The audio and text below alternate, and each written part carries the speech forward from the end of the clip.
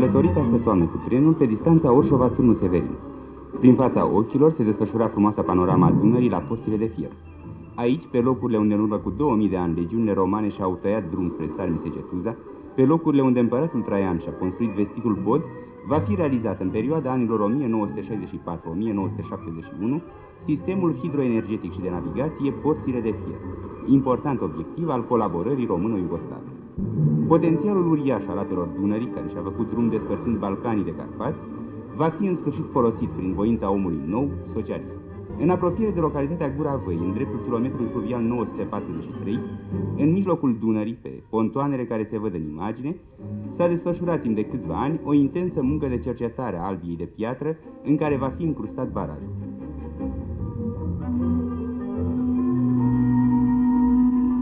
Vasul cercetătorul, aparținând șantierului de studii, ne-a dus pe unul dintre pontoane. Suntem în amplasamentul viitorului baraj. Aici am reîntâlnit câțiva oameni pe care i-am cunoscut cu ani în urmă la Bicas. Eugen Lăzăruț, sondor șef, a adus cu sine o experiență bogată. Cu ajutorul unor puternice foreze, în condiții de muncă diferite de cele de la poalele ceaflăului, au fost cormonite în adâncul apelor rocile formate cu milioane de ani în urmă.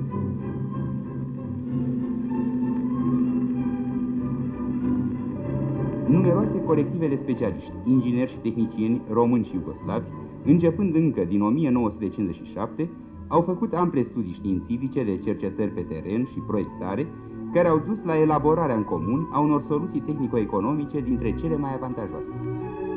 Mii de probe de șisturi cristaline, naise șistoase, roci impermeabile, care formează un suport solid pentru viitoarele construcții masive din beton și oțel, au fost supuse unor minuțioase cercetări.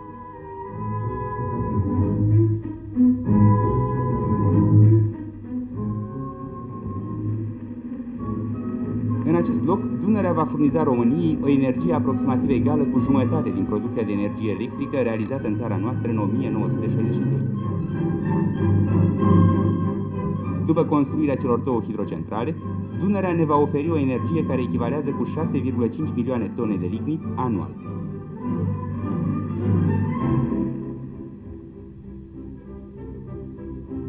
Din nou pe mal. Aceste balize,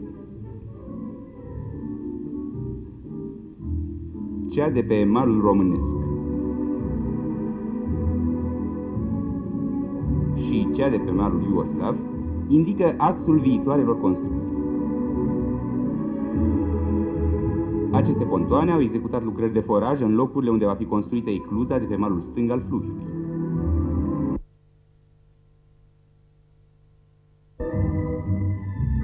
Pe șoseaua care urmărește malul Dunării, după ce am trecut stânga Moșul și Baba, la câțiva kilometri de Gura Văii,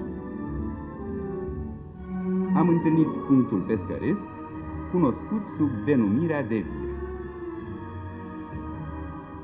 Aceste locuri, unde va apare lacul de acumulare, vor cunoaște transformări esențiale. Se vor modifica circa 24 de kilometri traseu cale ferată, care implică construcția a peste 1800 de metri liniari tunele și a 1500 de metri liniari viaducte. Pe teritoriul țării noastre vor fi refăcute șosele în lungime de 122 de kilometri. Mergând mai departe, am întâlnit vechea așezare Vârciorova. Și apoi ne-am oprit câteva clipe lângă acest pod care desparte regiunile Banat de Oltenia, admirându-i arhitectonica veche.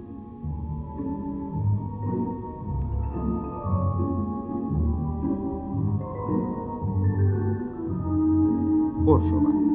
Nu intenționăm să facem monografia acestei localități. Am filmat doar câteva secvențe pentru a vă reaminti imaginile primului oraș mai mare pe care îl întâlnește bătrânul fluviu în țara noastră.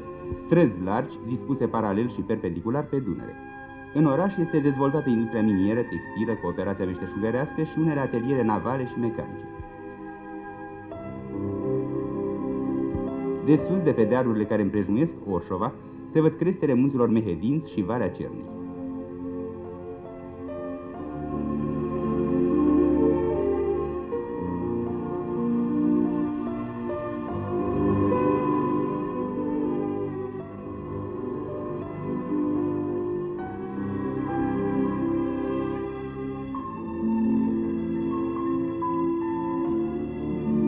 Iată acum Câteva aspecte filmate și la cazanele mici.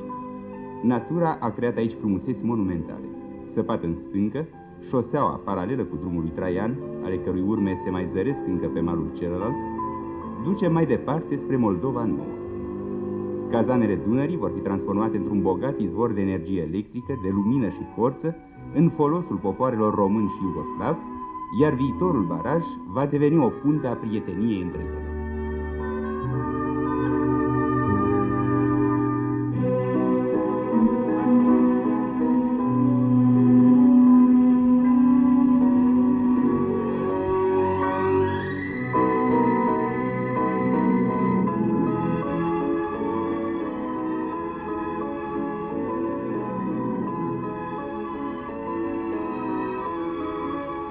Cazanele mari. Aici fluviul are o adâncime de peste 60 de metri. Dunărea și-a făcut loc de trecere tăind parcă cu fierăstrăul lanțul stâncos al Carpaților și Balcanilor, ultimul obstacol în drumul spre Marea Neagră.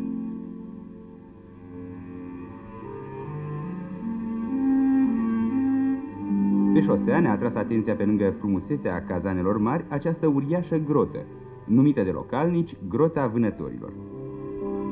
Și de aici, și încă câțiva zeci de kilometri până dincolo de Moldova Nouă, se vor întinde apele lacului de acumulare. Malurile acestui nou lac artificial vor fi amenajate. Vor fi construite noi porturi.